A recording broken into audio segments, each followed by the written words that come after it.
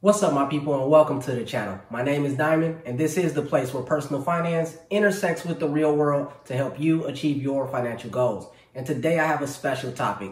It's the top of the year, and it's the perfect time to talk about rebalancing your investment portfolio. So I want to explain what rebalancing is, how do you do it, and how often you should do it. And stick around to the end because I'm going to show you an awesome tool that I use to help you look at your portfolio, analyze it, and see the pros and cons of rebalancing your portfolio.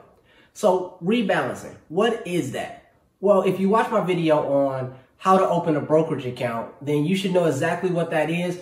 And hopefully you've opened your brokerage account and you're investing every single month. Now, before you started investing, I pray that you created a, a investment strategy because you don't want to just be throwing money out there and hope returns will come. You want to have a strategy. And so the rebalancing is basically making sure that your portfolio reflects your strategy.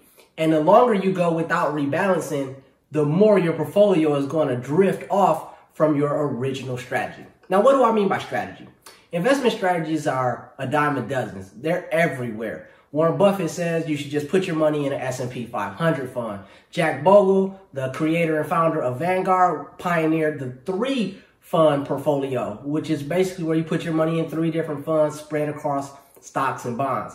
Another very popular strategy is you take a, your age and subtract it from 100, and that'll tell you the percentage that you should have in stocks and you should have in bonds. Or more recently, they bumped that number up to, I believe, 120 so you can get even more money into stocks. But that's some of the strategies out there, and it's a lot more. But what this is, is once you choose one of these strategies, let's go for simplicity in this video and say you decide that you want to have 50% of your money in stocks, you want to have 50% of your money in bonds. And again, this is not my recommendation for this strategy. Do your research and decide for yourself what strategy you want in order to hit your long-term financial goals. But for simplicity, let's go with 50-50. So you start off today and you have a thousand dollars that you're going to start investing and you put 500 in stocks, 500 in bonds. And you can do that between ETFs or mutual funds. I'll leave that up to you. Uh, but you have this money out there and you're going to put in a thousand dollars a month. So you can see over time, you're going to have a pretty large amount of money in these investments. So what's going to happen is as you move forward, let's go a year in advance. We just wrapped up 2021. So look at 2021. You've been investing for the whole year. Your strategy is 50% is what you want in stocks, 50% is what you want in bonds. Now here's where rebalancing comes into play. Because one of those two are going to outperform the other. It's highly unlikely that they're going to perform exactly the same.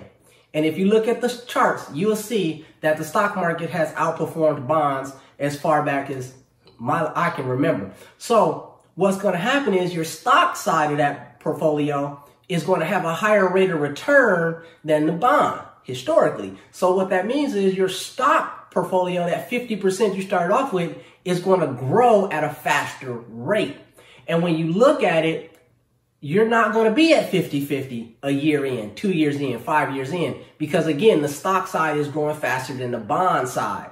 And if your strategy is still 50%, now you have to rebalance. And rebalancing is simply selling some things that was doing really good and buying the things that you want to make sure your strategy is still in place. And that may sound counterproductive because if something is really performing and your stocks is going through the roof and it's just giving you great returns, you may think, well, why? Well, why would I want to sell those to buy into more bonds? And this is where it all comes back to the very beginning. And you want to have a strategy before you start investing.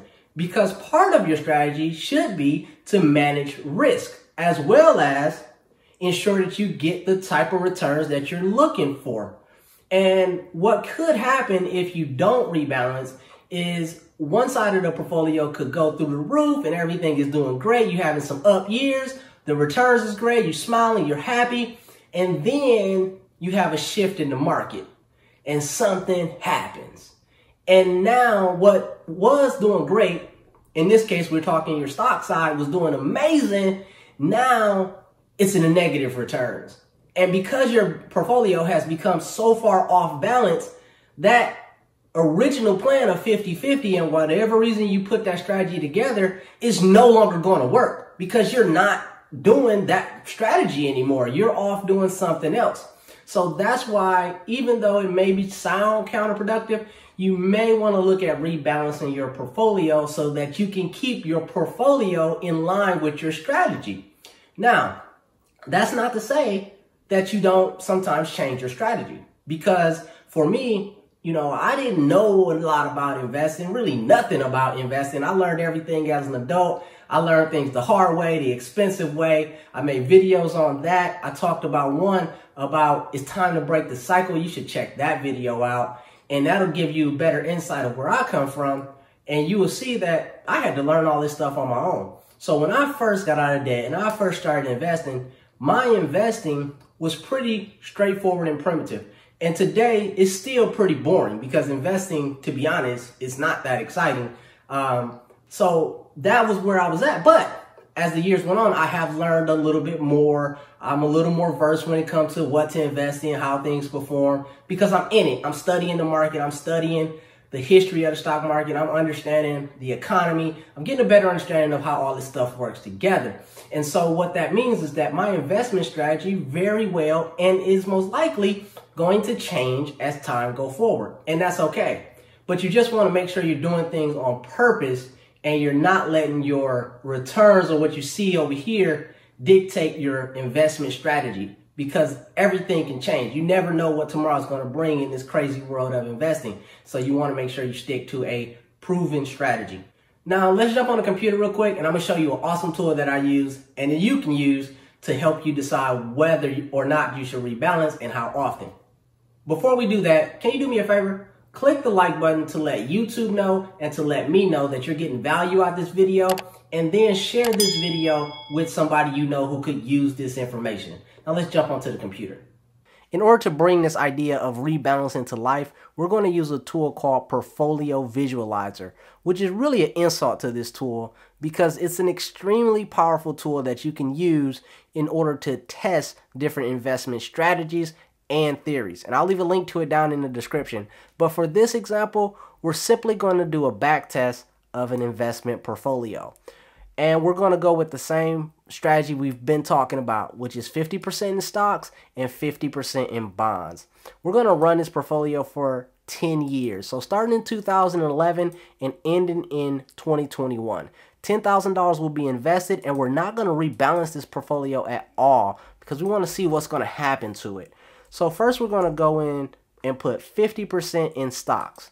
And what we're using is VOO, which is a S&P 500 fund.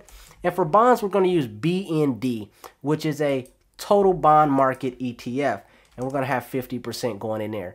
And the first thing we want to do is look at what happens to the portfolio when you don't rebalance. And we're going to compare that to when you do rebalance and what happens when you rebalance often. So right now you can see without rebalancing, this portfolio, this $10,000 turned into $30,000. Woohoo! Hooray! Now the best year is where I want to bring your attention to. The best year, the worst year, and the max drawdown. Pay attention to these percentages. The best year it returned 30 or 23%. The worst year it lost uh, negative 3%, and the max drawdown was a negative 13%. So these two numbers is what rebalancing is set to manage. Because part of your strategy, I hope, is to manage your risk. And this is the risk of investing. Of course, we all want to make money, but over here you see a drawdown of 13%. Now, if you're like me and you're not looking to touch your investment accounts for 20 or 30 years, that number may not scare you. But if you are in your later years of life or you're living off your investments, that drawdown of 13% may make you a little nervous. So let's go and look at allocation drift because that's what happens when you don't rebalance your portfolio. Remember the strategy that we're using, which was very primitive and not one that I recommend, not one that I'm using, but it's easy for demonstration purposes. So what we have here is we started with a 50-50 spread over stocks and bonds. And as time went on, you'll see that we're moving further and further away from our original strategy. So by the end of this, we have 76% in stocks and only 23% in bonds. So you may want to rebalance your portfolio because that's where you keep your portfolio in line with your strategy, which hopefully your strategy was designed off of your investment goals and your risk tolerance. And this is how you keep all of that in check. So now let's go take a look at what happens if you rebalance this portfolio annually. So every year we're going to go in and rebalance and make sure we're back at our original 50-50 spread. So what you notice here is the final balance on this account is now 26,000, which is about $4,000 less than not rebalancing at all. But pay attention to these three percentages over here.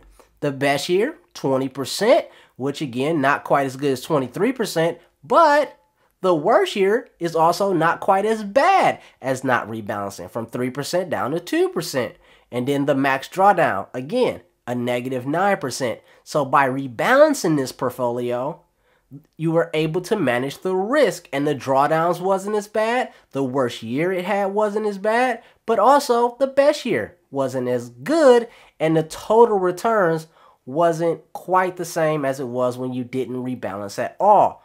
So it's easy to see that rebalancing is not about maximizing your return and just getting the most money you can make and the highest uh, percentage return points. It's about managing your risk and keeping your portfolio in line with your strategy. Because again, think about this. If you're older and you're needing this money, you want to manage this drawdown. You want to manage these bad years just as much as you want to make money because you can't afford to take huge risk. Now, if you're somebody like me who's not going to touch your investment portfolio for 20 or 30 years, maybe a drawdown of 13% or not rebalancing, maybe that's the way you want to roll but you want to make sure you're doing this on purpose and you're not just letting it fly. Because this is using historical data because that's all we really have. And historical data is good to look at what happened. It's not so great at telling us what the future is going to hold. So this is no guarantee that you would get this in the future. So again, make sure you have a good strategy and talk to a financial advisor, somebody who's in the business so that you achieve your financial goals. Now, real quick, I want to show you what would happen if you rebalance this portfolio every single month. So now when we rebalance every single month, you can see that the final balance is about the same as it was when we rebalance annually. The best year, close. The worst year, close. Max drawdown, close. So all of these numbers are pretty close. And the only thing that rebalancing every month versus annually did was cause you to do a lot more work and you didn't reap a lot of benefit from that. So rebalancing too often may give you a slight edge in your portfolio, but when you factor in the effort and time and money it took, it might not be as beneficial as you think. This brings me to our final topic, and that is when it comes to rebalancing, how do you rebalance? You could choose one or two ways to rebalance your portfolio. One is the way we've been talking about, and that is based off of time, where you say every month, every quarter, every year, or biannually, I'm going to rebalance my portfolio, bring that portfolio back in line with my strategy. The other way you could go about rebalancing is based off of a deviation, meaning that you set up your strategy and then you set up your deviation. What do you deem acceptable? Meaning that if I start this at 50 50 Maybe I say I'm not going to rebalance the portfolio unless I get to 60 40 one way or the other. So now you're not needing to rebalance every month or annually. You're just looking at the portfolio and wait until it hit that deviation. So now when we look at that and say, if this account hits a 60-40 split, I'm bringing it back down to my original strategy of 50-50. So if you look at this and go through the years, we started this back in 2011. You can see in 2014, stocks is at 58%. And if we go another year, stocks is now at 60%, a little over, and the bonds is just under 40%. So now that hit my deviation and now in 2015 I'm going to rebalance this portfolio and I'm going to bring it back to my 50-50 spread. So that's two ways you can go about rebalancing your portfolio. And again, it all comes back to your strategy. So I keep mentioning strategy because that is the most important thing when it comes to investing. You have to have a strategy, which means you have to have investing goals, and those goals are going to drive your strategy. So now you know a little bit more about rebalancing your portfolio. Let me know in the comment section, how often do you rebalance your portfolio? Or have you ever rebalanced your portfolio? and the reason behind that thought. Now, personally, I created my investment strategy back in 2019 after I became debt free. I did a ton of research and I came up with a strategy and I picked out specific funds that I felt confident in, that I felt was going to get me where I needed to go. And I have not rebalanced my portfolio until right now in 2022. And that's because my portfolio did really well. And I was also running two different investment strategies in parallel because you hear what people tell you to invest in, you hear what strategies are great, but I'm the type of guy that I want to see for myself. So I put together two different portfolios and they've been running neck to neck side by side. And now it's at the point where now it's time to consolidate these things, come up with the one strategy that I'm going to use going forward. And that's going to cause me to rebalance my portfolio as well as changing my strategy at the same time. So that is my take on it. But let me know down in the comments section and make sure you're subscribed to the channel and your notifications are turned on because this is the place where personal finance intersects with the real world. Until next time, my name is Diamond. Peace.